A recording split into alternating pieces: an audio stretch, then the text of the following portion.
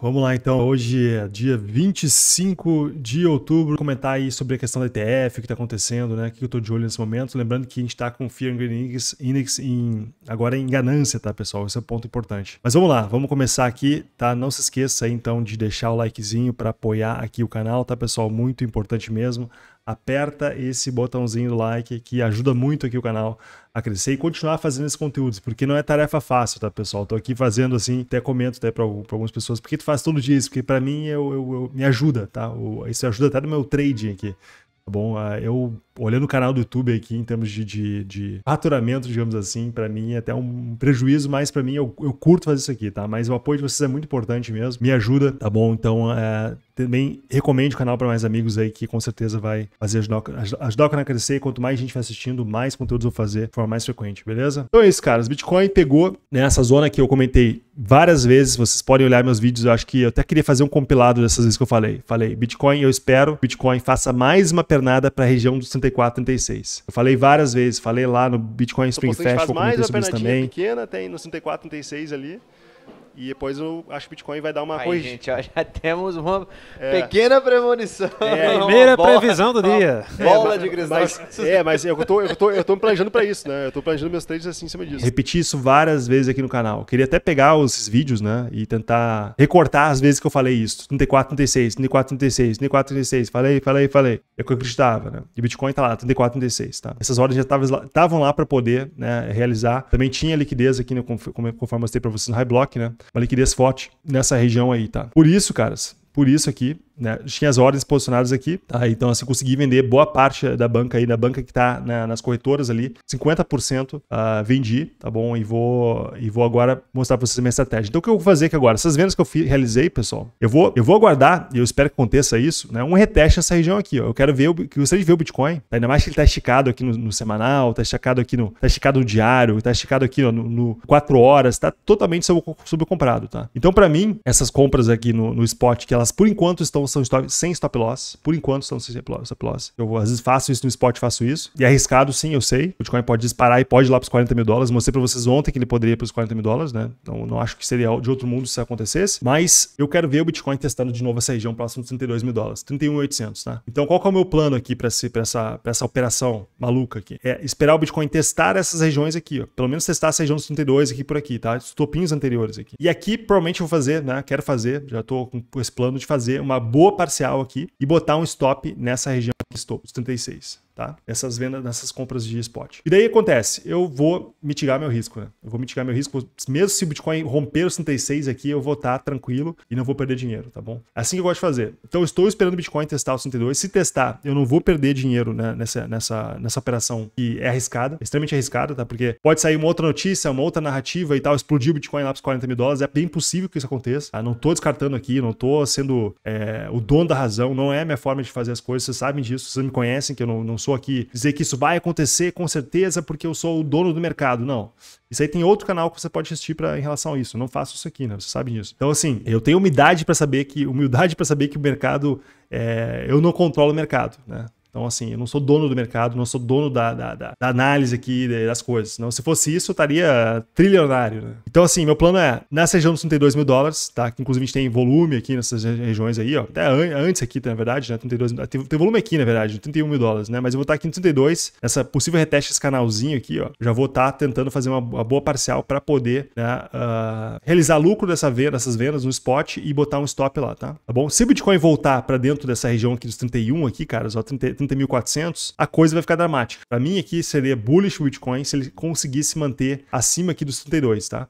se ele começar a perder, entrar para dentro desse canalzinho aqui, ó, eu acho que as coisas ficam um pouquinho dramáticas aí, tá bom? Então, assim, eu não quero, uh, não quero pagar para ver, tá? Então, assim, eu vou, eu vou estar tá, é, recomprando aqui, tá? Nessas regiões, mas obviamente a outra parte eu vou manter, né? Vendida ali, e vou ver se eu consigo ver, de repente avaliar a região dos 28 por aqui, né? Bom, vou ter que analisar quando, como, como vai ser aqui, tá bom? Então, assim, essa é a minha estratégia aqui, explicando para vocês o que eu tô fazendo, tá? Que eu não sou um maluco que tô simplesmente vendendo sem ter um plano, tá? Tem um plano de uh, recomprar na região dos 32 mil dólares para poder botar um stop lá em cima, nos 36, tá? E deixar metade dessa posição ainda vendida, ver se eu consigo comprar bem mais abaixo. Eu preciso montar caixa na minha, na minha banca ali, né? Na corretoras, tá? Eu preciso disso. Tá bom? É bem importante porque no final eu quero acumular também mais o STT, o, né? Para comprar Bitcoin, possível correção mais abaixo que poderia vir aí na pior fase do mercado. Eu acho que é possível essa, essa, essa correção é, mais pesada ela vir ainda, tá? Então é isso. Mas não estou descartando o Bitcoin em 40 mil dólares, tá bom? Fique claro para vocês aqui que eu não estou descartando. descartando. Mostrei, inclusive, aqui esse padrão aqui, ó. Esse, esse canalzinho aqui, geralmente eu gosto de medir o, o, a projeção, isso aqui, assim, ó, tá? Topo fundo, nessa região, onde rompeu, aqui rompeu. Bitcoin pode sim, ó, para casa lá próxima dos 40 mil dólares, tá bom? Lembrando que a gente pegou aqui agora, a gente pegou aqui, ó, puxando Fibonacci, desse topinho aqui, ó, tá lá dos 69 até o fundo aqui dos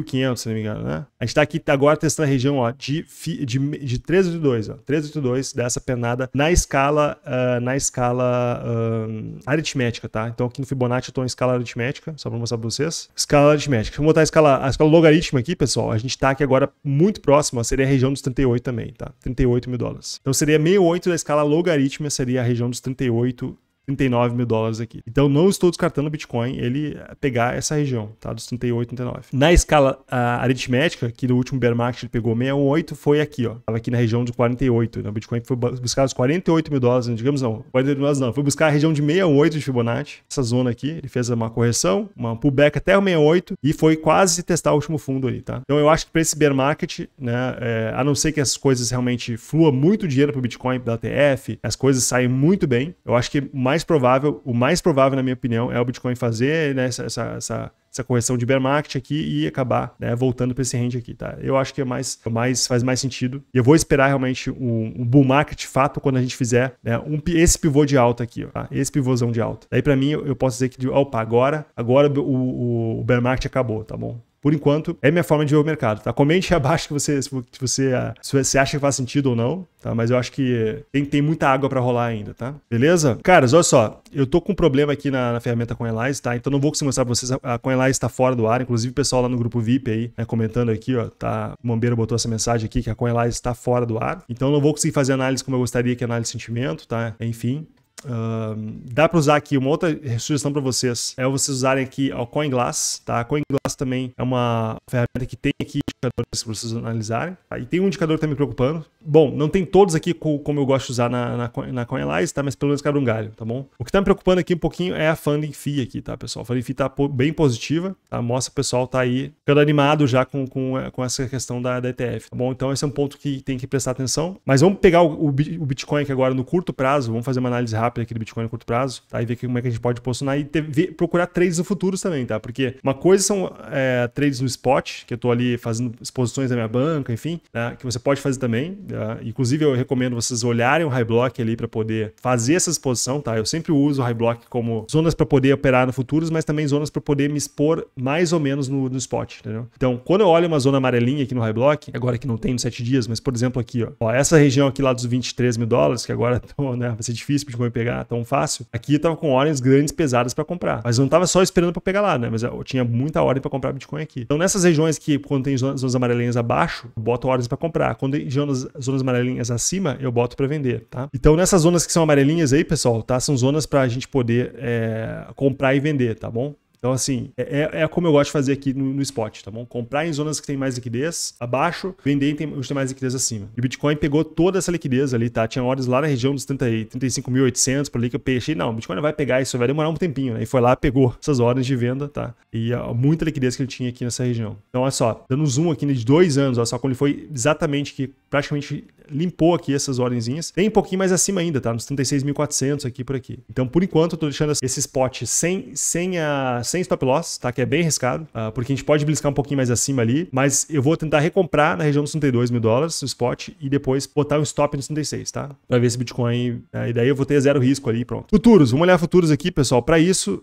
ó, tem certo suporte aqui, pessoal, tá? Entrando suporte nessa região dos 32.400 aqui, tá? Nessa região aí. Nessa zona aqui, eu tô vendo o Open Interest subindo tanto aqui, ele tá meio que, né? Tá meio fraco aqui o Open Interest, tá? Então subiu aqui praticamente desse, desse dessa região pra, daqui para cá, ó, subiu na Binance cerca de 3%. Então o Open Interest subiu muito pouco. E a gente tem aqui ordens aqui de compra nessa região dos 32.500. Não temos muita ordem acima aqui, pelo que eu tô vendo, né? É, tem um pouquinho de ordem aqui né? Cerca de. Essa região 35 mil, 35 mil e, e 128 aqui por aqui. Tem umas ordemzinhas, tá? Mas não muito, muito pesada aqui. Então, na minha opinião, aqui são as duas zonas para gente poder operar o Bitcoin, são essas aqui, tá? Talvez aqui no curto prazo você pode tentar, ah, dependendo como vai ser aqui nessas regiões, pode ser uma região de, de vender. Aqui pode ser uma zona também para tentar comprar, ver se o Bitcoin segura aqui pelo menos no curto prazo. Se a gente baixar o tempo gráfico aqui, a gente vai aqui nessas regiões aqui embaixo, ó, numa hora. Olha só, a gente tem um possível, né, um triângulo formando aqui numa hora também para o Bitcoin, tá? Esse triângulozinho aqui. Só que triângulo é uma figura meio complicada de tentar operar aqui. Eu já começo a desenhar um canal, possível canal aqui, então o Bitcoin poderia voltar aqui, ó, para essa casa, no fundo desse canal aqui ainda, tá? Nesse possível formação de canal aqui que a gente poderia ter, ó, os Bitcoin voltar aqui para essa região dos 32 mil dólares, eu vou estar fazendo essa parcial, parcial por aqui, nesse fundo desse canalzinho. Você deve ver o CPR mensal aqui, pessoal, tá? O CPR mensal a gente tem, ele tá aqui, ele tá na região dos 30 mil, 30.500, 30.600 aqui, né? Então tá bem longe aqui do CPR, tá? O preço tá bem afastado, tá bem afastado do CPR, o que não é uh, normal pro Bitcoin, tá? Ele não é, geralmente o Bitcoin não fica tão afastado assim. Então a gente vai ter, a gente vai ter a virada do mês aí, vai ser na, na segunda-feira, né? Vai ser na, na quarta-feira que vem, tem uma semana para fechar o mês ainda. Então geralmente o Bitcoin não fica muito longe desse da zona do, do R3, do CPR mensal, que tá aqui agora. É, se você olhar a história do Bitcoin, pega o gráfico index lá e dá uma olhadinha no CPR, você vai ver que ele não fica muito longe dessa região dos 30.500, tá? Então vamos ver como vai ser até o fechamento do mês, né? Lembrando que também temos vencimentos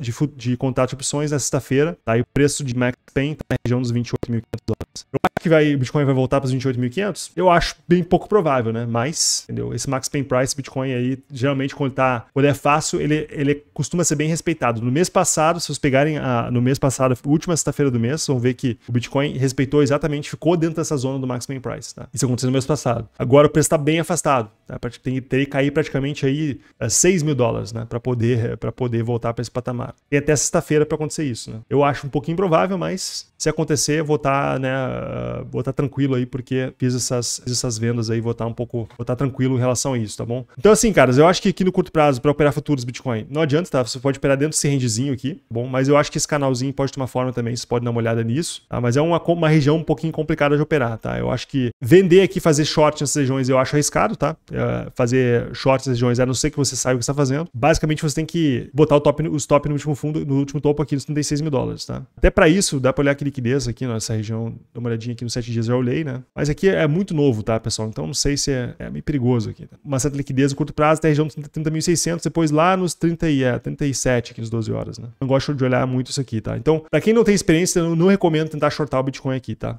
Eu acho que é um pouquinho arriscado. A não ser que você saiba o que está fazendo em relação ao Open Interest, você olhar os indicadores de sentimento aqui e ver que, opa, o preço está subindo com o Open Interest caindo, né? Nessa região que tem, tem ordens, eu vou fazer um short, né? Para tentar recomprar aqui, ó, fazer uma parcial aqui embaixo. Então você pode tentar shortar o Bitcoin, tá? você pode tentar shortar o Bitcoin, eu acho que não é de outro mundo, tá?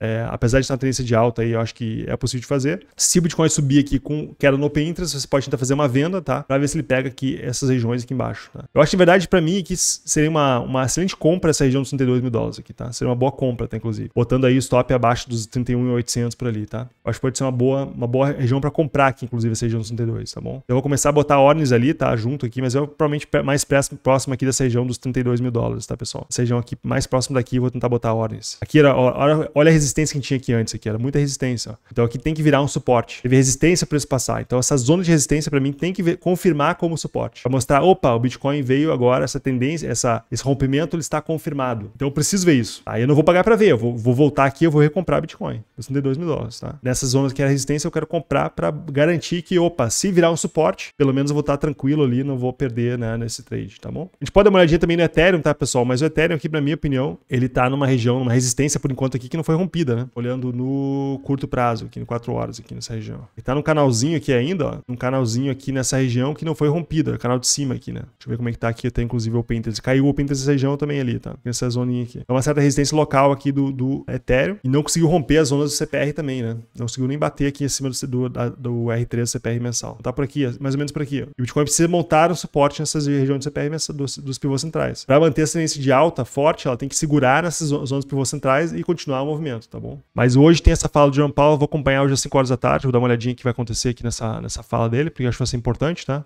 Então, 5 horas e 35 minutos vai ter a fala do Jean Paul hoje, beleza? Então, acho que é isso, pessoal. Vou focar aqui agora, ver os conteúdos para os membros aí, a parte de altcoins, vou dar uma analisada no mercado e postar lá no grupo. Participem do grupo VIP, tá, pessoal? Bem importante, é 100% gratuito. Não deixem de participar do grupo VIP, tá? No Discord, tá? Vai lá e participe que vocês vão curtir. curtir. Tô cada vez tentando aprimorar eles E é legal que o grupo tá ficando, né, tá se alimentando, o pessoal botando informações ali bem importante. Inclusive eu entro no grupo para pegar informações eu mesmo, tá? O pessoal postou ali que nem um bombeiro, postou sobre, sobre o Coinalize. É, o grupo é interessante vocês participarem lá, tá? É gratuito. E se você quiser também receber conteúdos, também tem a, a membros aqui do canal que você pode participar também, beleza? Então, caras, vou fechando por hoje aí. Espero que você tenha gostado aí, então, da, da, das análises aqui de hoje. Tá? Não esqueça de deixar o like para apoiar aqui o canal, ativar as notificações para você não perder nenhum vídeo e a gente se vê então na próxima aí. Uma boa, boa quarta-feira aí. Valeu!